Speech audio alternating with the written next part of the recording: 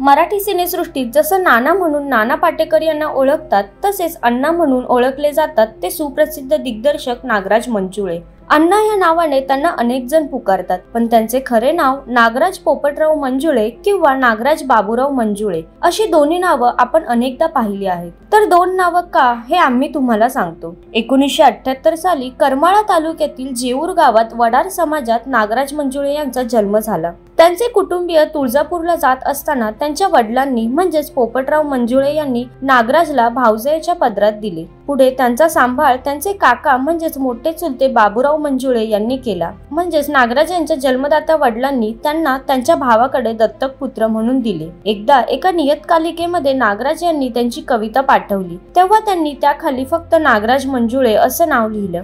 त्यावर पोपटराव मंजुळे यांचं मत होतं की नागराजने वडिलांच्या नावाच्या जागी बाबूराव यांचे नाव लावावे. पण मनातून नागराज यांना जन्मदाता वडिलांचे नाव लावायचे होते.